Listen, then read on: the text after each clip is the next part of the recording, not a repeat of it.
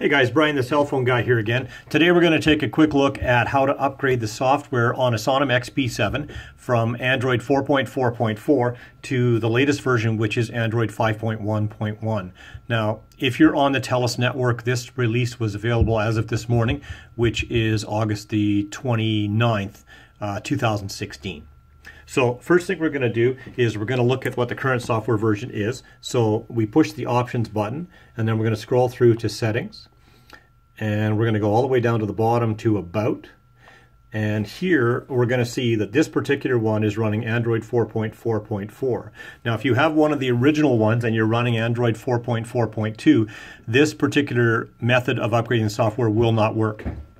You have to go to the other video that I shot in this series uh, a few months ago, and uh, it's a different process for that. But because this one's already updated to 4.4.4, it's a fairly straightforward process. So the first thing we're going to do is we're going to go to the icon page, scroll across until we see this one in the top left-hand corner, which is called Mobile Care, and we're going to touch that. And this is uh, the mobile update thing, and it will automatically launch and tell you if you have an upgrade available.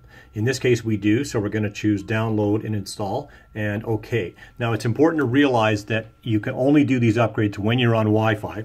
So if you're not on Wi-Fi now, it's going to kick you out and you're going to have to go back and uh, launch the, uh, the app again.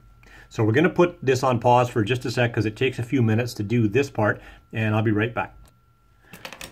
Now, if you've done this part properly, you're going to notice up in the top left-hand corner here, we have the little moving arrow that's moving in a downward direction, and this indicates that the download is in progress.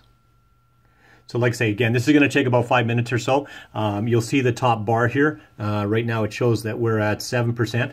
Uh, and because of the time this takes, I'm going to pause the video and we'll come back when this is completed. Stand by.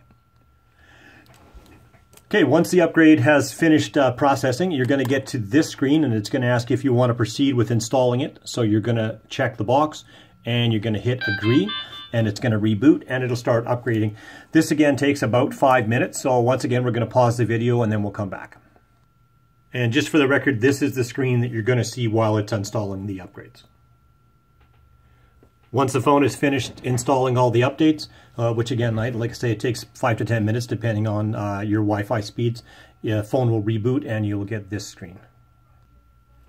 If it seems to you like the phone is frozen up or stuck on this screen, it isn't. Just be patient. Uh, it takes a, about a minute or so before it moves off this screen, but it will do so automatically.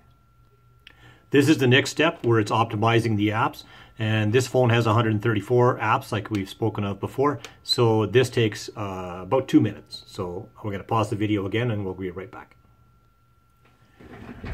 Once the upgrades have finished, it'll go back to the uh, black screen and we just swipe to unlock. It'll give you the welcome screen and it'll give you a few things that you have to go through to customize, but basically you can just say got it. Now what I want to do is I want to show you I can get both of these. This is just to show you the difference between the two. Uh, it's going to show you on this screen that you've achieved success with the update, so you just click OK. Now, the one thing that you'll notice when you go to the uh, apps page is there's a little bit different view of the apps. In the old one, you swipe left to get to page two, and in this one, you swipe up and down. And that's basically all there is to uh, upgrading the software to 5.1.1.